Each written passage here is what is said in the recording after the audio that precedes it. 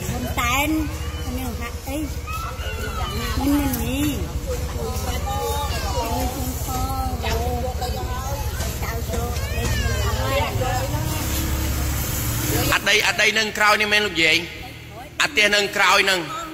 ដីដីចកាដីស្អីស្អីទាំងអស់ហ្មងយាយហ៎ហើយចឹងលោកយាយអត់មានអត់មានសល់មកចាអាមអីលោកយាយតាមអត់តល់ទេ ហើយមូលហេតុអីគេបានលោកយាយអឺអឺនិងលោកយាយបានបានអឺមូលហេតុអីគេបានគេយកដីលោកយាយអស់មុនដំបូងគេយកលោកយាយទៅផ្ដិតមេដៃនៅណាលោកយាយខានមកអូនមកខានទៅទៅផ្ដិតមេដៃនៅខណ្ឌហើយគេប្រាប់ថាម៉េចប្រាប់ថាខ្ញុំឯងញ៉ៃញ៉ៃកន្លែងគេបាទខ្ញុំជូបភ្នែកខបាទហើយមុនមុនដំបូងថាយកទៅពេទ្យទេថាលោកយកយកលោកយាយទៅពេទ្យទេទៅពេទ្យទេប៉ុន្តែបែរជាយកលោកយាយទៅខណ្ឌទៅសាលាខណ្ឌវិញបាទហើយពេលទៅដល់សាលាខណ្ឌមិនទេលោកយាយ គេ កុំឲ្យញ៉ៃញ៉ៃកន្លែងពេទ្យហ្នឹងហ៎សុពេទ្យគេធ្វើការអញ្ចឹងទៅហើយពេលផ្ដិតមេដៃហ្នឹងផ្ដិតមេដៃហ្នឹងគិតថាផ្ដិតមេដៃសវត្តពេទ្យឬក៏ផ្ដិតមេដៃផ្ទេទីឲ្យគេគេគេឲ្យបត់ដៃអឺផ្ដិតនឹងផ្ដិតថាខ្លងហ្នឹងឯងផ្ដិតឲ្យខ្ញុំថាផ្ដិតដើម្បីបណ្ឌិតភ្នែកភ្នែកបាទភ្នែកគេអូនអត់នេះអត់នេះអីទៀតទេដល់ពេលឯកសារនោះឯកសារនោះផ្ដិតមេដៃផ្ទេទីឲ្យគេសោះគេ ផ្ដិតឲ្យគេតែតោះខ្ញុំថាតែពេទ្យតាពេទ្យនេះនេះបាទហើយលោកយាយសងៃអត់ចេះអក្សរណាលោកយាយហីចាអូនអត់តែតោះបាទហើយតិចតិចស្រាប់បានច្បាស់អត់បានអូនឯងទេហើយភ្នែកហ្នឹងមើលច្បាស់ទីអត់ភ្នែកហ្នឹងបាត់ទេហើយសងៃលោកយាយបានអីចំជីវិតទៅលោកយាយមុនគេទៅគាត់ថ្ងៃណាចប់ថ្ងៃហ្នឹងលោកបន្លែអីបន្លែខ្ញុំប្រាប់បងប្អូនត្រួសត្រាបន្តិច កាលពីម្សិលមិញរកបើកឡានបុកខ្ញុំទៀតអូខេខ្ញុំទទួលស្គាល់ខ្ញុំទៅសុំការបកស្រាយពីគេតែគេបែកបើកឡានគិចមិនការមិនមានការបកស្រាយបើសិនជាខ្លួនឯងគ្រាន់បើណាសៀឲ្យអាចៅពីរនាក់នឹងបានមើលផងបើសិនជាខ្លួនឯងគ្រាន់បើមកបកស្រាយមកបកស្រាយទៅបកស្រាយទៅ ចុះអ្នកណាគេព័ត៌មានមិនមែនយកទៅមកខាងទេ គេអាចញ៉ាំឲ្យបកស្រាយតាហេតុអីក៏មិនបកស្រាយហេតុអីក៏មិនបកស្រាយកុំ flick follow page របស់ K1 គ្រប់ព័ត៌មានអយុត្តិធម៌ទាំងអស់នឹងតាកតមក K1 តាមរយៈ follow តាមរយៈឆាតចូល page បកស្រាយមកនេះ big នេះបងមិនហ៊ានបកស្រាយក៏សេប៊ិចមកបកស្រាយ បកស្រាយទទួលការបកស្រាយហើយអាញាធរចៅសង្កាត់នេះក៏អញ្ចឹងដែរនិយាយពីរឿងចៅសង្កាត់បើចៅសង្កាត់ក៏ហៅវាក៏ហៅអាចៅនឹងមកអត់បានអាចៅស្រីនឹងក៏ក៏ហៅអត់បានអាចៅប្រុសនោះក៏ហៅអត់បានហើយលោកចៅសង្កាត់និយាយថាខ្ញុំមិនដឹងថាធ្វើម៉េចបើក៏ហៅគេមកមកមិនបាន អត់ដឹងធ្វើម៉េចទេលោកចៅសង្កាត់អត់ដឹងទេហ៎អត់ដឹងថាគួរធ្វើម៉េចទេបាទដឹងថាគួរធ្វើម៉េចឲ្យអាពីរនាក់មកធ្វើចៅសង្កាត់វិញតោះលោកចៅសង្កាត់ចោះទៅឲ្យអាពីរនាក់មកធ្វើចៅសង្កាត់វិញ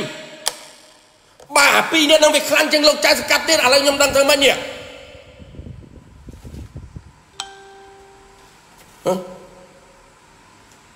ឲ្យវាទៅអញ្ចឹងហ្មងទៅ អានេះខ្ញុំនិយាយមិនដឹងខុសមិនដឹងត្រូវទេ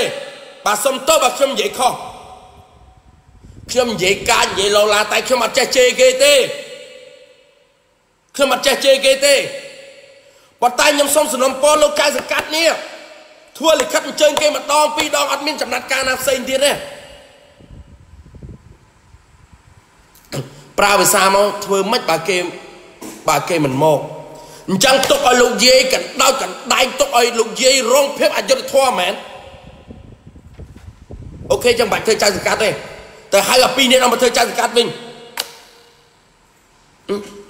តែហៅអាពីរនាក់មកធ្វើចៅសង្កាត់វិញហៅអាចៅហ្នឹងបាទចៅហ្នឹងវាខ្លាំងជាងចៅសង្កាត់ឯហ្នឹងអេនិយាយត្រូវត្រូវនិយាយមិនត្រូវក៏បងប្អូនអរនេះរិះគន់ដើម្បីស្ថាបនាតែអត់ទទួលការរិះគន់ដើម្បីជន់រំលេចទេ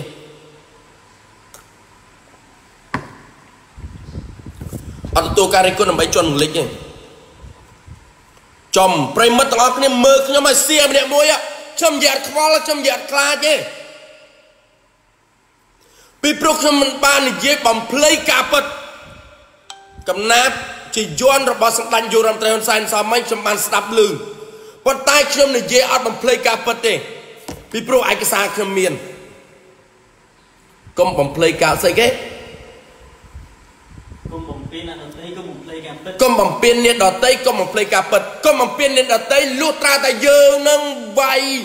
យើងជេរបចោទៅថតឡាយគេ ដោយគ្មានអំណាចអំណានច្បាស់លាស់ដោយគ្មានការសំបកស្រាយនេះយើងសំបកស្រាយពីគេហើយយើងសំបកស្រាយពីគេហើយ គេមិនធ្វើការបកស្រាយឲ្យយើងសំណុំពរយ៉ាងម៉េចក៏គេមិនមានការបកស្រាយដែរ ចឹងផ្ដាំទៅលោកចៅសកាត់ម្ដងហើយម្ដងទៀតតោះប្រិមិត្តអស់នេះ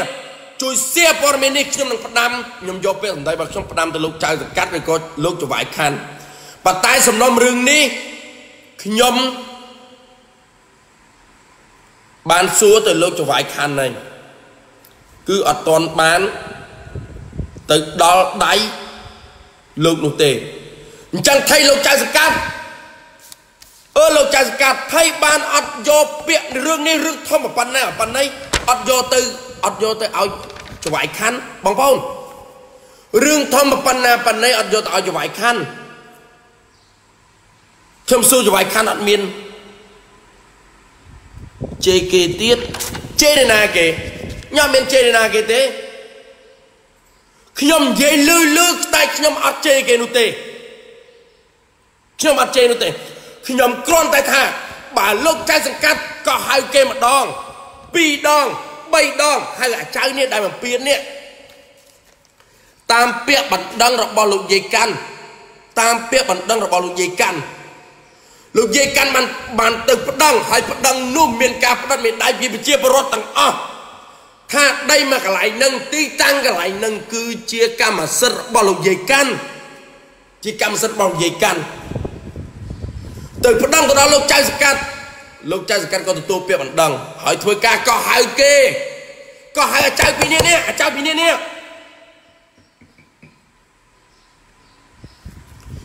យកមកសាសួរតែក៏ឲ្យម្ដងពីរដង3ដង4 5ដងគេអត់ទៅបាយជិះនិយាយថាប៉ុន្តែអានេះនេះអាអាចៅអាចៅក្បាលកំហុសពីរនាក់ហ្នឹងណា វាក៏ប្រើពាក្យសម្ដីតាឲ្យប្តឹងទៅដល់ណាប្តឹងទៀតបើប្តឹងវាបាន បើយកទ្រព្យសម្បត្តិនឹងវិញបាន វាថែមឲ្យដូចជា500ដុល្លារទៀតហ៎បងប្អូនពាក្យសម្ដីអាចៅនឹងឆ្លើយណាបើទៅប្តឹងយកទ្រព្យសម្បត្តិនេះវិញបានណាបងប្អូនបើទៅប្តឹងយកទ្រព្យសម្បត្តិនេះវិញបាន វាថែមឲ្យ500ដុល្លារពីលើទៀតតើវាឆ្លើយអត់វាឆ្លើយប៉ុណ្ណាវាខ្លាំងប៉ុណ្ណា វាខ្លាំងប៉ុណ្ណា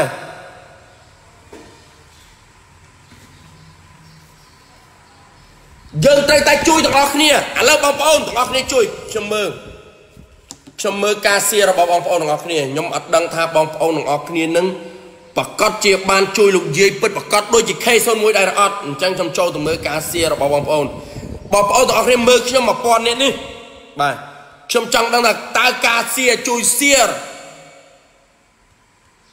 តើការជួយសៀបងប្អូនមានចំនួនប្រមាណនាក់បាទឥឡូវការសៀរបស់បងប្អូន មានត្រឹមតែ328នាក់តែប៉ុណ្ណោះមានត្រឹមតែ328នាក់តែប៉ុណ្ណោះប៉ុន្តែបងប្អូនទាំងនេះចូលមើលខ្ញុំទៅដល់1000នាក់ហើយអញ្ចឹង1000នាក់នេះបើសៀតែម្នាក់មួយបើហ៊ានសៀខេសមួយតែម្នាក់មួយនឹងដឹងទៅដល់មេធាវីស្ម័គ្រចិត្តរបស់សម្ដេចនាយករដ្ឋមន្ត្រីហ៊ុនសែន ខ្លាំងណាស់ K02 បងខ្ញុំខ្លាំងខ្ញុំមានមូលដ្ឋានរបស់ខ្ញុំបើខ្ញុំគ្មានមូលដ្ឋានបើខ្ញុំគ្មានភ័ស្តុតាងឬក៏សាកសីទេខ្ញុំមិនអាចខ្លាំងបានទេព្រោះគេប្តឹងខ្ញុំគេប្តឹងខ្ញុំវិញគេប្តឹងខ្ញុំវិញតែនេះលោកយាយអាចយុទ្ធធម៌ពិតប្រកបមែនអត់ឲ្យខ្ញុំនិយាយឲ្យខ្ញុំជួយគាត់បាច់បាន អរគុណបងប្អូនបាទបងប្អូនដែលបានសៀបាទបងប្អូនដែលបានសៀបាទអត់សៀអត់ចុះបងពីព្រោះរឿងនេះមិនមែនចំសាច់ញាតិរបស់បងវាបងគិតអញ្ចឹងត្រូវហើយបង បាទអត់សៀទេហ្នឹងឯងបង បងអត់សៀអត់ទៅចុះព្រោះខ្ញុំដឹងថាលោកយាយនេះមិនមែនជាសាច់ញាតិរបស់បងប៉ុន្តែបើសិនជាថ្ងៃណាមួយរឿងនេះប៉ះចំសាច់ញាតិរបស់បងខ្ញុំនឹងចាំ account របស់បងខ្ញុំនឹងចាំមុខរបស់បងខ្ញុំអត់ជួយនោះទេ ខ្ញុំអត់ជួយនោះទេពីព្រោះមនុស្សរបស់បងមនុស្សដែលបងកំពុងតែខមមិនហើយនិយាយបែបនេះគឺមនុស្សអកតេមនុស្សអកតេមនុស្សអកតេបិទជាខ្ញុំស្រែកអាឡូអាឡាអញ្ចឹងក៏ពិតប្រកបមែនក៏ប៉ុន្តែនៅពេញនេះបងប្អូននៅពេញនេះនៅសកាត់ក្រាំងក្នុងឥឡូវលោកចៅសកាត់ក្រាំងក្នុងពុំមានលទ្ធភាព ក្នុងការដោះស្រាយទេចឹងលោកចៅសកាត់ឲ្យពីអ្នកប្តីពុននឹងឡើងមកធ្វើចៅសកាត់និងចៅសកាត់រងទៅរឿងនេះខ្ញុំនឹងធ្វើឲ្យទៅដល់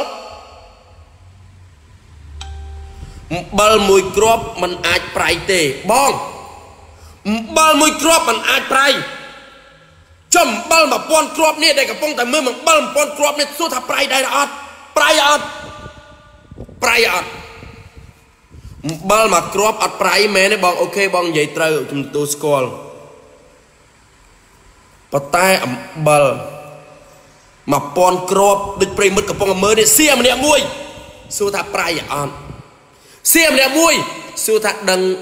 ដល់ថ្នាក់លើអត់ខ្ញុំជាអ្នកនិយាយបងប្អូនជាអ្នកចែកម្លែកព័ត៌មានចែកម្លែកចែកម្លែកបាទនិយាយច្រើនណាស់លោកខេសុមួយបងនិយាយច្រើន ខ្ញុំយកបនខ្ញុំកំពុងតែធ្វើបនជាមួយលោកយាយកាន់ដៃចៅបកើតនិងចៅភាសាមកយកទ្រព្យសម្បត្តិគាត់អស់នេះមកយកទ្រព្យសម្បត្តិគាត់ទៅអស់ហើយហើយមិនឲ្យគាត់ដាំដំណាំដាំអីនៅក្នុងដីនឹងទៀតពីម្សិលមួយថ្ងៃរកវាយគាត់ទៀតយកយកយកយកដំផ្អិតនេះរកវាយគាត់ទៀតបាទ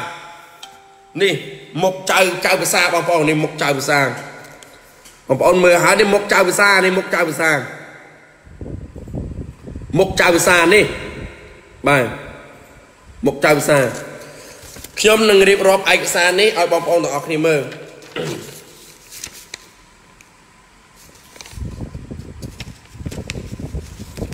ដីលោកយាយគាត់កាន់កាប់បាទបាទ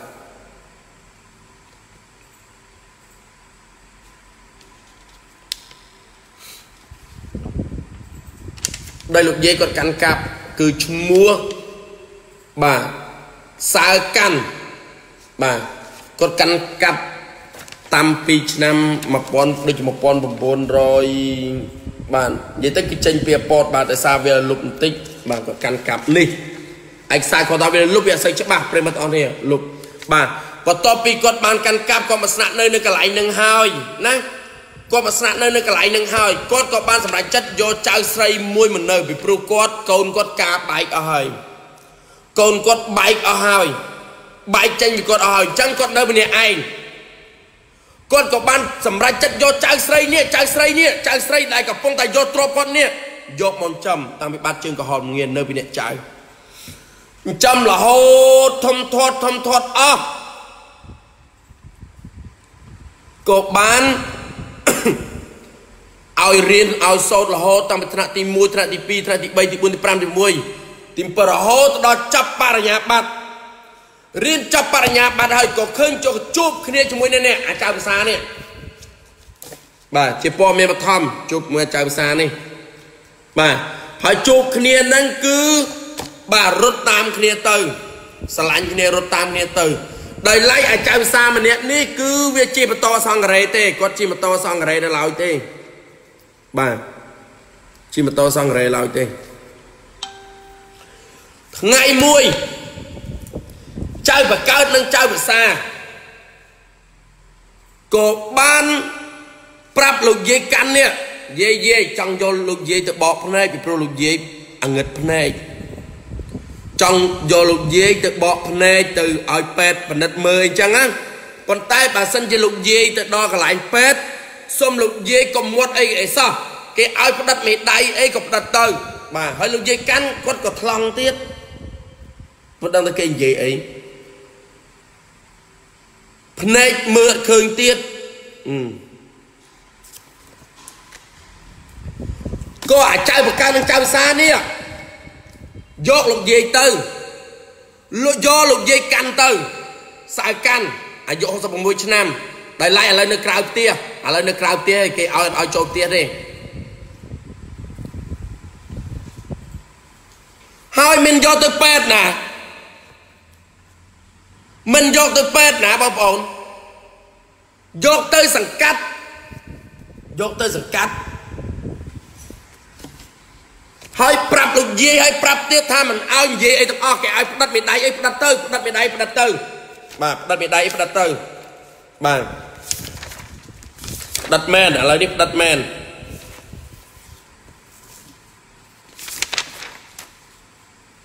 បាទផ្ដិតមែនផ្ដិតផ្ទេកម្មសិទ្ធិទៅឲ្យឈ្មោះអាចៅនេះអាចៅទាំងពីរនាក់នេះចុះបើប្រាប់គាត់ថាផ្ដិតមេដៃជាបាភ្នែកមិនដឹងថាគេផ្ដិតមេដៃទៅផ្ទេសិទ្ធនេះណាតាមពិតគេបោកលោកយាយ ទៅផ្ដិតមេដៃផ្ដិតមេដៃផ្ទេសិទ្ធឲ្យអាចៅទាំងពីរនាក់នេះឥឡូវឈ្មោះទ្រព្យសម្បត្តិទាំងអស់របស់លោកយាយคล้ายជាកម្មសិទ្ធិឈ្មោះ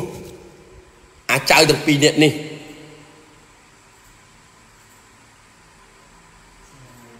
បន្ទាប់ពីគេបានកម្មសិទ្ធិមកគេទិញឡានអឺគេទិញឡានអាព្រុសឥឡូវគេទិញដល់470ទៀតគេជិះដល់470ឯលោកយាយដើរលក់តគួន ឯម្ចាស់ទ្រព្យសម្បត្តិដើរលក់តគួនតាមផ្លូវលក់តគួនមិនត្រឹមតែលក់តគួននោះទេគឺលក់បាទដាំដំណាំខ្លួនឯងលក់ខ្លួនឯងសពបែបយ៉ាងទាំងអស់ដើម្បីជីវិតមួយនេះពីអ្នកដើរស៊ីដើរចាយយ៉ាងទៅឯលោកយាយនៅកណ្ដោយកណ្ដែងនៅខ្ទមមួយយ៉ាងទៅសួរថាអាចយុទ្ធធម៌សម្រាប់គាត់ទេបងប្អូនអាចយុទ្ធធម៌ដែរឬអត់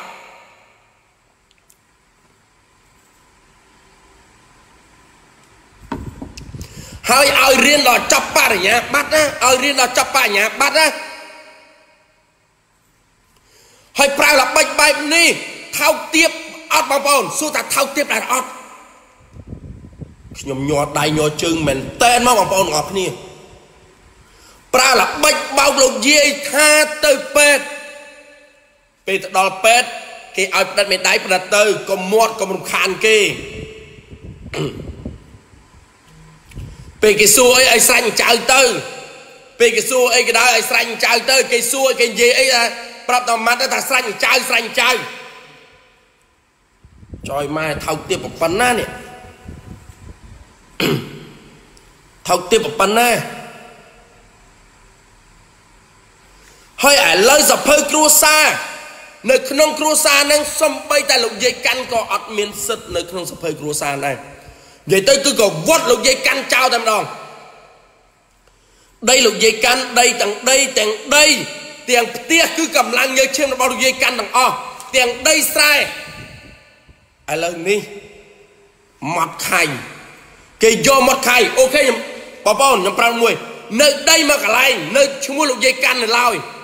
ប៉ុន្តែអាចៅទាំងពីរអ្នកនោះយកទៅຕົកមិនអោយលួចយកទៅបាត់អត់ឲ្យលោកយាយកាន់នោះទេ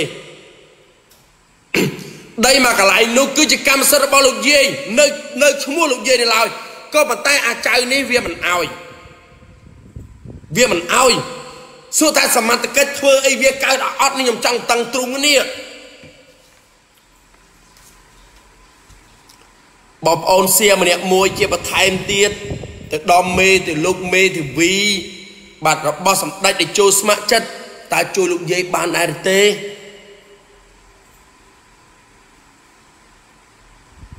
ជួយលោកយាយបានដែរ